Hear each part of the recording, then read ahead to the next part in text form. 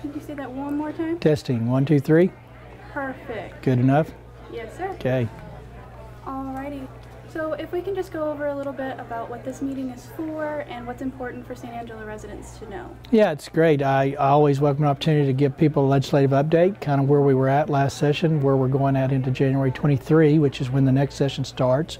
And we're in hot and heavy of the interim committee process. So every committee is currently meeting and will continue to meet till late fall.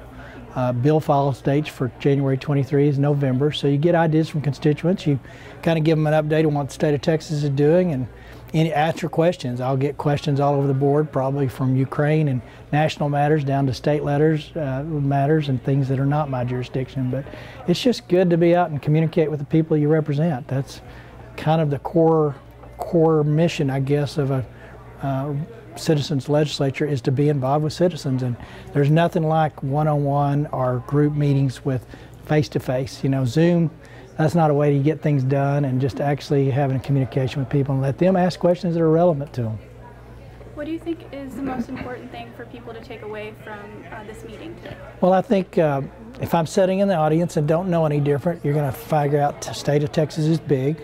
It's very diverse in needs across the region so we need water out here I think the state in general needs water right now. We're going through a drought. Uh, I have a role in that, hopefully, to secure water.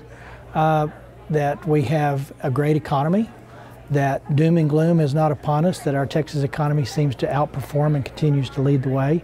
Uh, so we're going to be okay from a finance perspective, but we've got issues in CPS, foster care, public.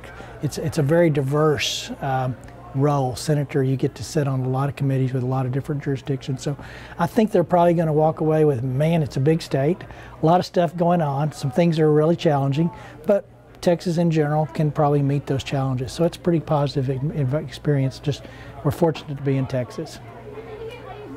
Thank you. Yeah, no problem. Appreciate it.